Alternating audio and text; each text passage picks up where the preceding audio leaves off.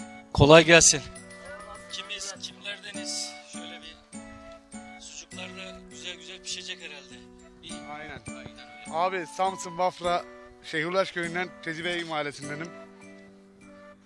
Şeyhulaş köyümüzün pikniğine geldik. Bayağı bir kalabalık. Babam? Mustafa Tiryaki, büyük dedem İsabi Tiryaki.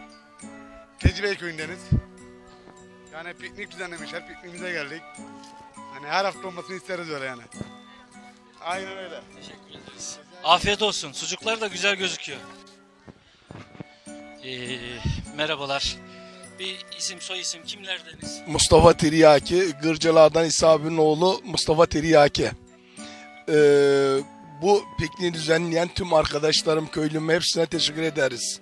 Ve herkesin analar gün, anneler gününü kutlar ve sağlık huzurlu bir şekilde yaşamalarını dilerim. Teşekkür ederiz. Gırcalardan Beşir'in Mustafa'nın oğlu Akman Tiryaki. Güzel bir organize oldu. Geldik. Her sene de geldik. İnşallah devamını dilerim.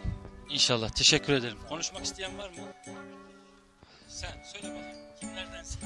Ben Şehirlaş köyündenim. Ee, Kimlerdensin? adım Mert Efe. Ee, Bafralıyım. Bu kadar yeter. Teşekkür ederim. Adın ne senin bakayım? Sen? Yağmur teyzaki. Yağmur Tiryaki nerelisin? Sulaşlı mısın? Aferin sana. Kaç yaşındasın? İki buçuk. Af- Selamünaleyküm. Afiyet olsun.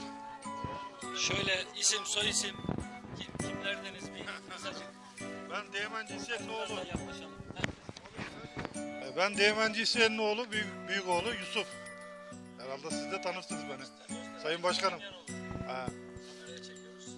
e, böyle bir organizasyonu yaptığınız için teşekkür ediyoruz size. Kimlerin emeği dokunduysa.